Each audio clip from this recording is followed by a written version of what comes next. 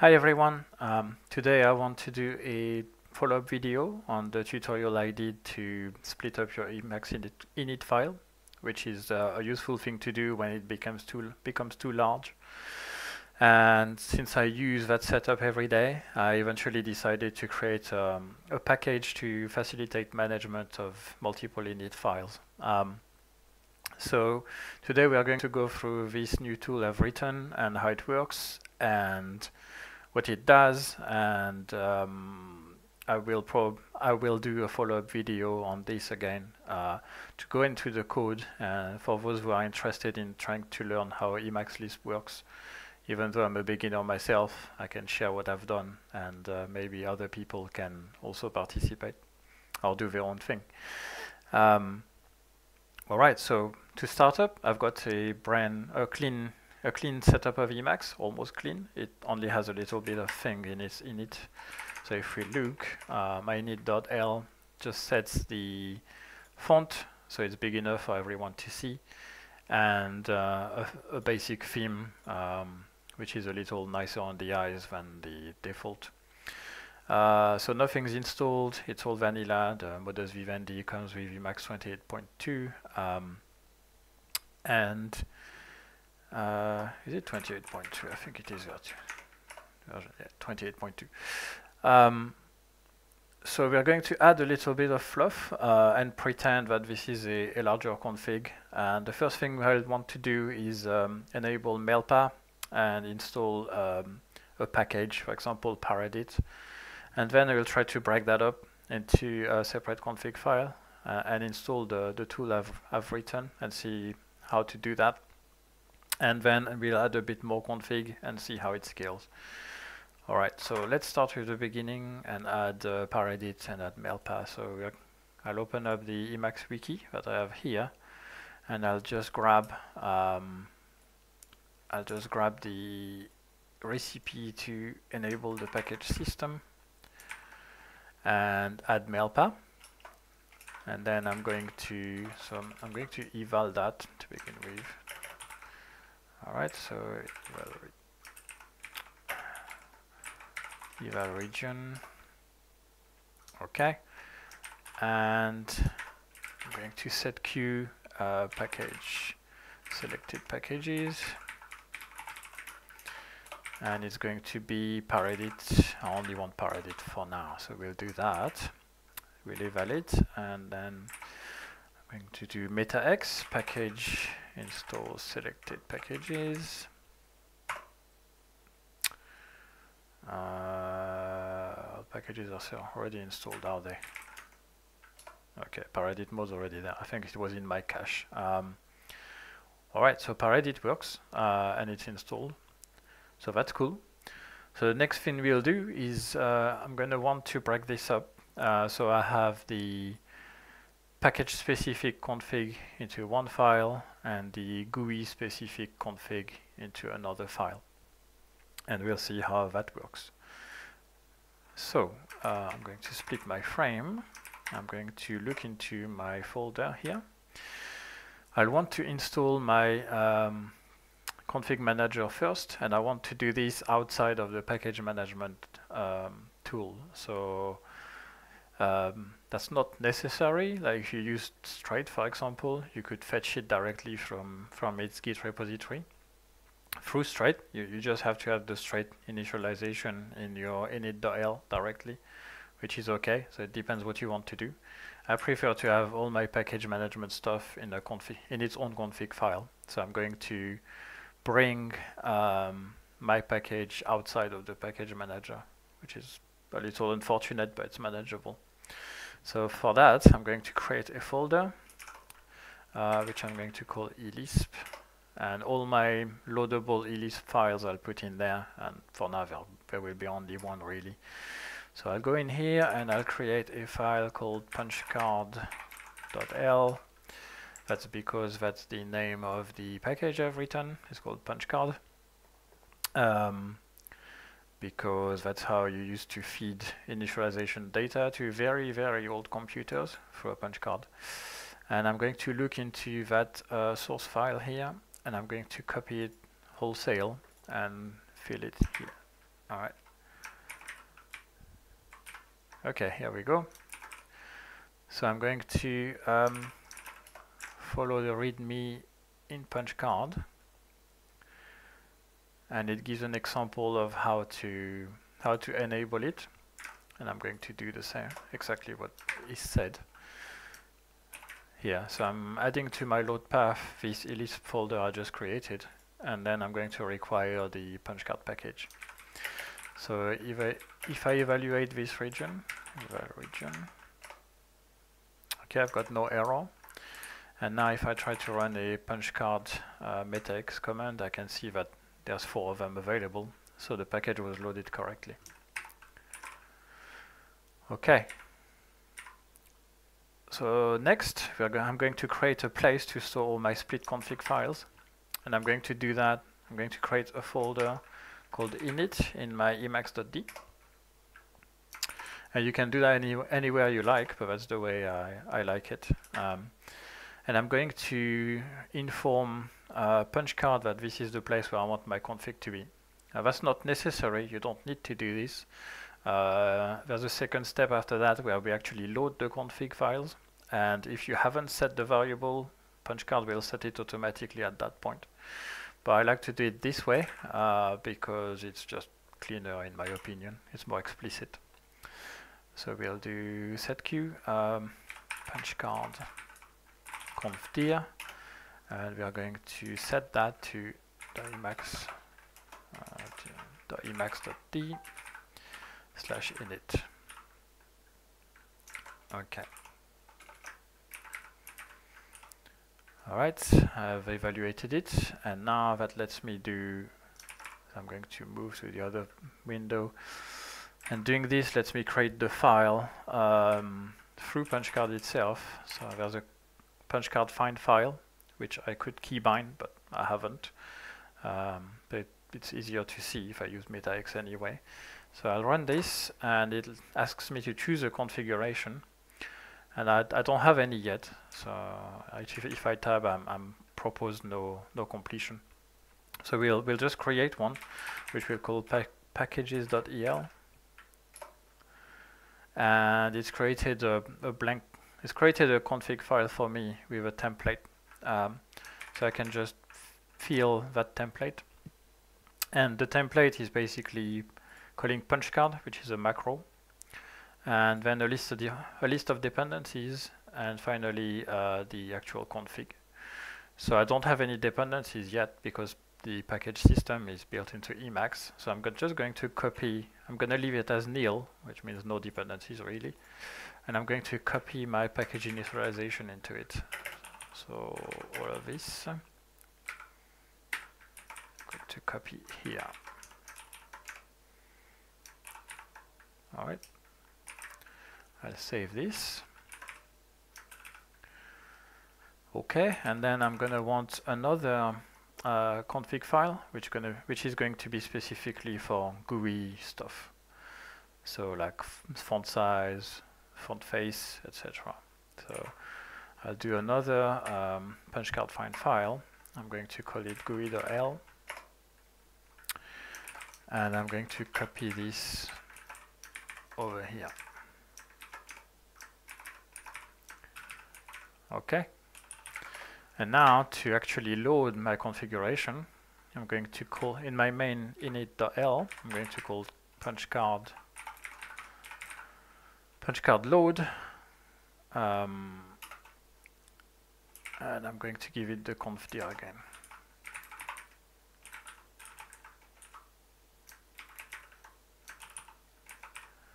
Okay. So I should be able to run this and it should make almost no difference. And it did run and it didn't seemingly change anything. So the the way to check that it works really is to, to kill Emacs and uh, start it again and see if it loads the, um, the GUI the GUI settings. So let's try it. Oh, I've exited Emacs and I'm going to start it again.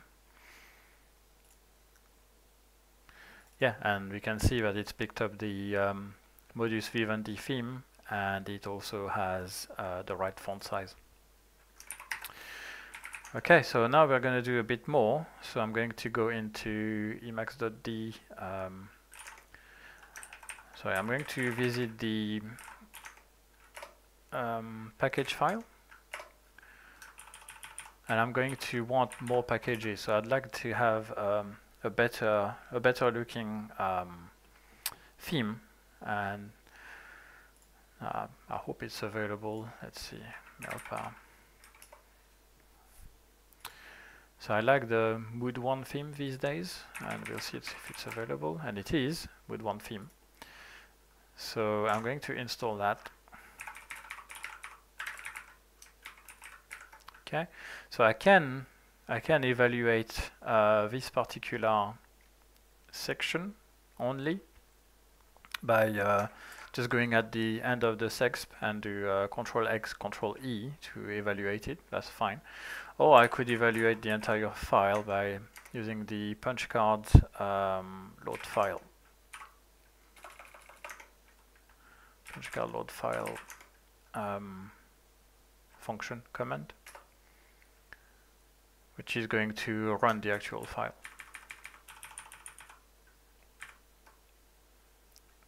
So that, that should have evaluated the selected packages and now I can run a package install selected packages and it should go and fetch mood 1 theme which is exactly what it does. So yes.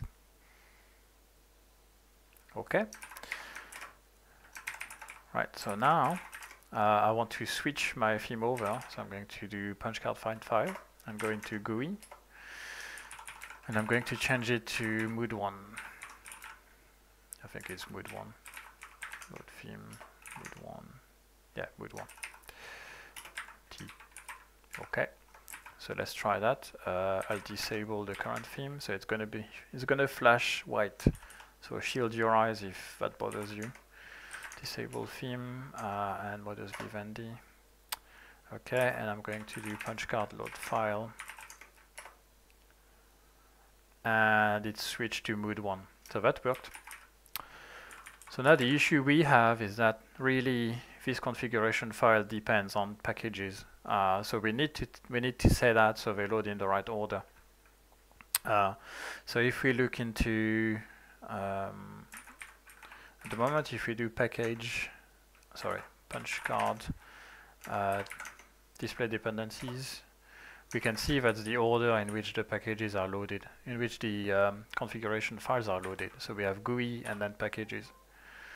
Uh, that that doesn't make sense because um, now our GUI really depends on packages. We, we must have Mood1 installed before we load the GUI. And so we want that in the right way. So we're going to express it here by adding a, a list and we're going to say that this depends on packages. Oops, wonky.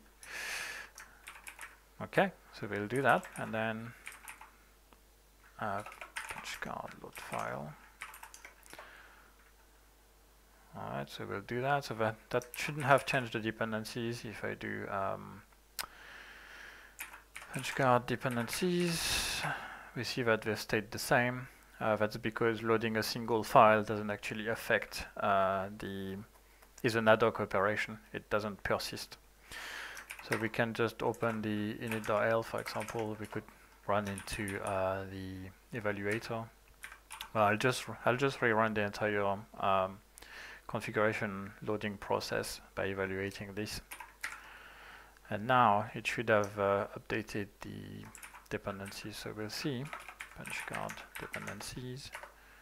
There we go. So now we can see that uh, the GUI config depends on packages and that's loaded after the packages and packages doesn't have any dependencies. Cool, so we can try and add another one since we have Paredit installed. Uh, I'm going to create punch card find file. I'm going to create um, elisp, let's say lisp.el. And that's going to depend on packages as well. Packages. All right, and I'm going to uh, add a mode hook, so add hook to uh, Emacs Lisp, oops, Emacs Lisp hook and that's going to be paredit mode because having paredit enabled is very useful when edited when editing Lisp. So we're going to do punch card load file. Okay, and now if I re revisit uh, this file, it doesn't work for some reason.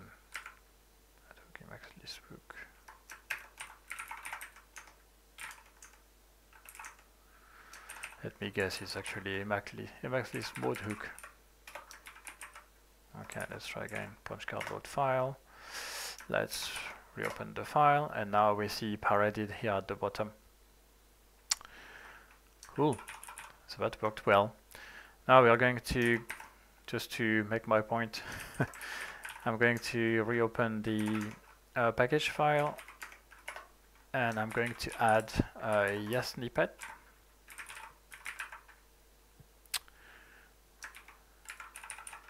and a snippet, snippets, I think it's called.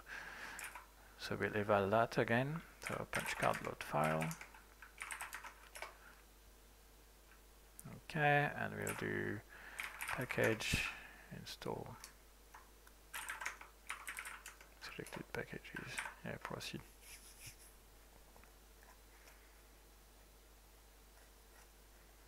Okay, so a bit of patience. Okay, now we'll configure yes snippets. So we'll do um, punch card find file, and we'll call it yes snippet L. I don't remember um, YaSnippet. So I, I know I have some um, YaSnippet config files. I don't remember what they are. So we'll pretend that uh, this is useful. Uh, sh does nothing. Yes, snippet does stuff. Okay, and now we'll have um, the elisp. Yes, it's still open. Now our elisp uh, we'll, we'll want to add the snippet to our, our elisp uh, config file. Um, so we can use snippets when we when we are coding, which is a useful thing to do. So we'll want to add another hook. Uh, yes, what's it called? Yes, something. Oops. Yes, uh, yas minor mode. Let's do yas minor mode.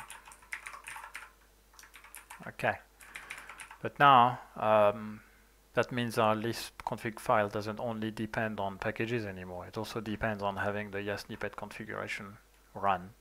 So we'll do YaSnippet, and these needs to be these need to be um, these need to be strings.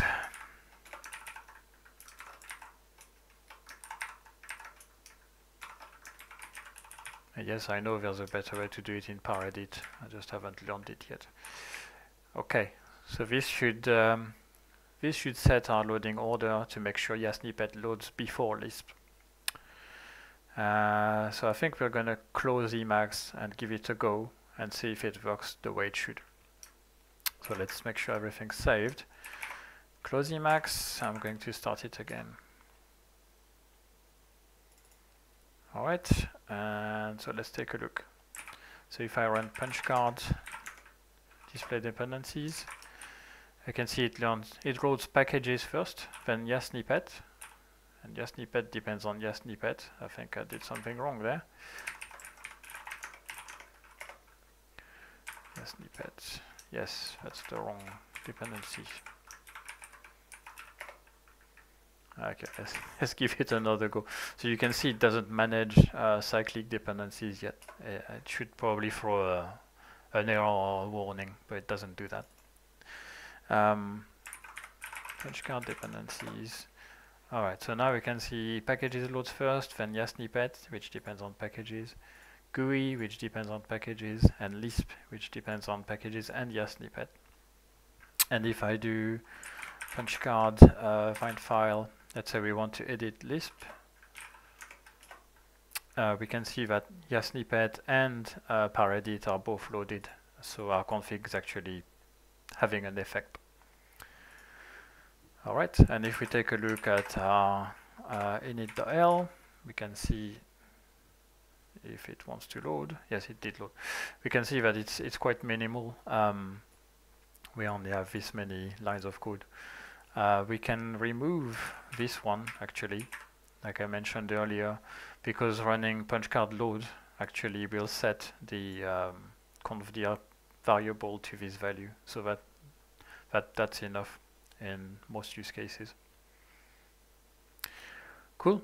I hope you like this introduction into punchcard and what it does and how it helps. And um, if you have any comments or suggestion, please feel free to leave it yeah, under the video.